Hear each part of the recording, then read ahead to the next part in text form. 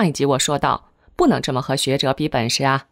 我说，我是用修行出的慧眼通功能追视历史影像，站在这个高度一目了然。从这个视角研究历史，和钻在史料里研究求索完全不是一回事，不能炫耀相比的。朋友不住点头。我继续讲到，史书每次造假都会留下破绽，天理也不允许人间周密造假没有破绽的。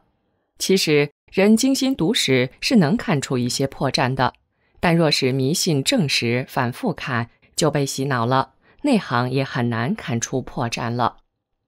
朋友又打开电脑，我指着地图说：“韩信带兵走到了井陉最险要的山路上。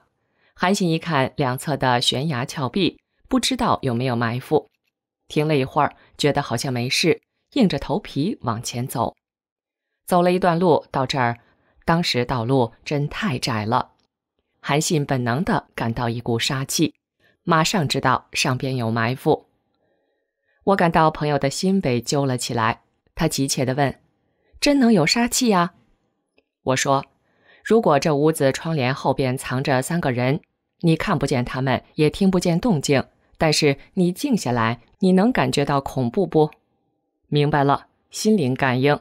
朋友说：“我说。”对呀，但是如果你心浮气躁，就感觉不到危险，是不是？对，朋友说。我说，所以浮躁易怒的将军容易中埋伏、打败仗。做大将得有素质。朋友问，是不是两边山峰很高，绝壁直如刀削？我说，你这也是文人的想象。如果山很高，就不容易看到下边，怎么射箭？而且峭壁很高，伏兵往上爬就很耗费体力，从上面往下冲就很耽误时间，敌人容易跑掉，所以高峰峭壁并不是设伏兵的好地方。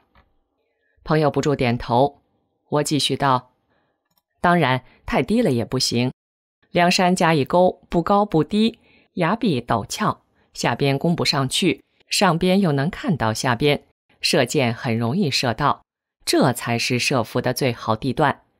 当时陈馀派出一万伏兵，就是埋伏在这儿。这个地段当然现在开山填沟修路，地形也变了。不过那里还能看到遗迹。从远处看这段路，上面能看到下边，下边也能隐约的看到上边。小山坡上面能隐约的看到堆起来的一些石头，一看就不是天然的。别看上边很安静。杀气腾腾，很恐怖。朋友问：“两小山加一沟，这么险要的地方埋伏，你说有一里路长，这么有利的地势，那怎么就没有歼灭韩信的三万军兵呢？”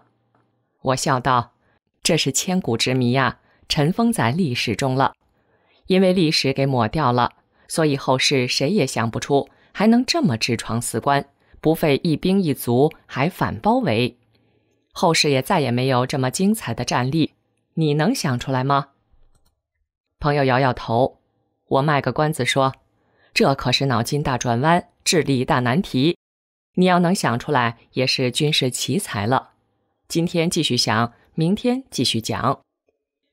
第二天，朋友一来，还是不住摇头，没想出结束来。我说，这也确实难想啊，五千年的战争历史。唯有这一次完美闯过天险四关的，我慧眼通穿越时空，看到当时韩信也急出了一身汗，但是他很快又冷静下来，没有退路了。这三万人不可能退回豫域去，那样永远也闯不过井陉口。那韩信是怎么闯过去的？还不费一兵一卒？这太不可思议了！朋友大惑不解的急切地问：“我说。”如果太可思议，韩信还叫什么兵仙呢？这是历史上绝无仅有的一次。